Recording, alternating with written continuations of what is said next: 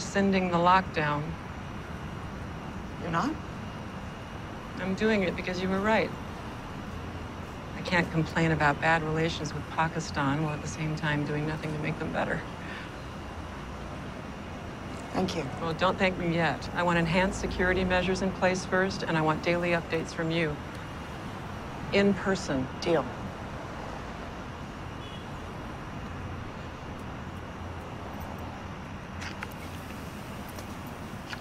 Smoke another with me?